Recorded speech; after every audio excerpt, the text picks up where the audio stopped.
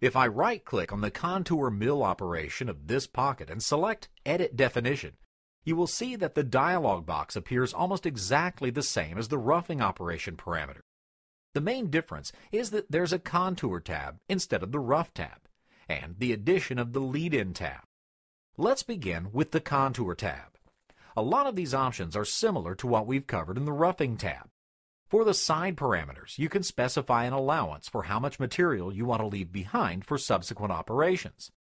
If I click on the Settings button, CAMWorks opens the Side Parameters dialog box where you can type in the amount you want to cut on each pass, the final cut amount, and finally, you can put in extra spring passes if you want to account for any tool deflection that may occur.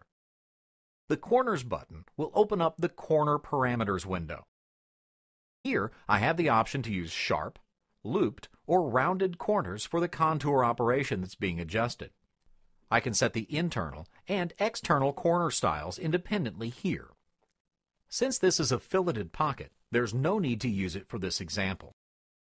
Here in the corner machining section, if this option is checked, the contour operation will only take place on corners between the maximum and minimum radius you type in here. If I type in 30 thousandths and an eighth inch for my range and click Preview,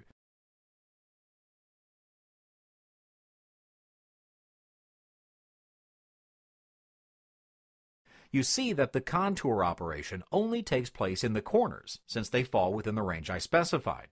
This can be helpful when you need to insert additional contour operations to clean up tight corners rather than using a very small tool to complete an entire contour step.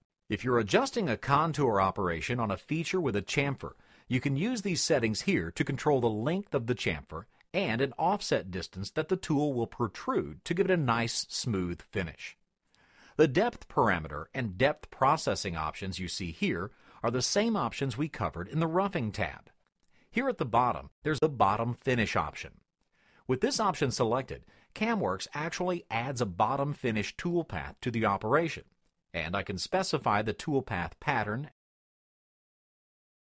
and step over amount, as well as if I want an extra perimeter pass.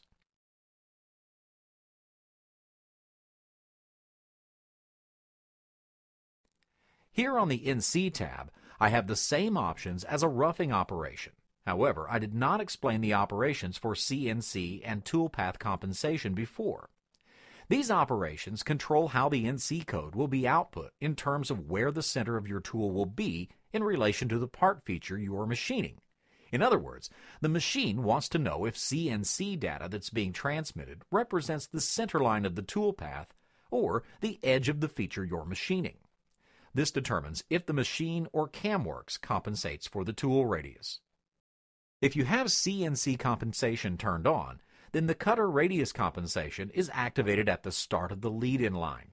For example, you will get a G41 or G42 code in your part program for the current operation. If you have the width compensation option checked, then CAMWorks will compensate and offset the radius by the width of the tool.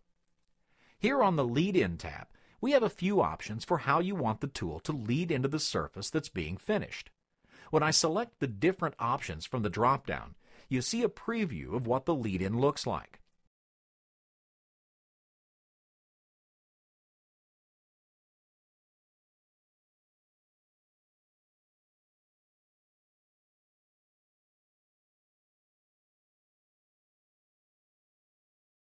For the lead-in, lead-out point, I can simply click on edges of the feature to determine which edge will be used for the midpoint.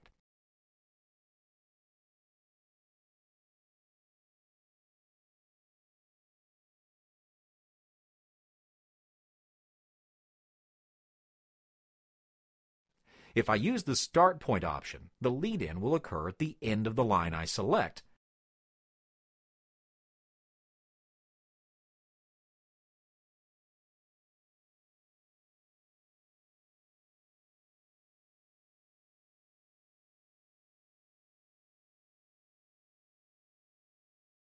and I can offset it from that point by using this spin box.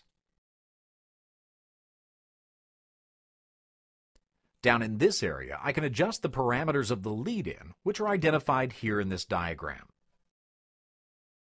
On the Advanced tab, there are a few options for how contour operations will deal with avoid areas. I'll explain these options later in the section called Inserting Avoid Areas.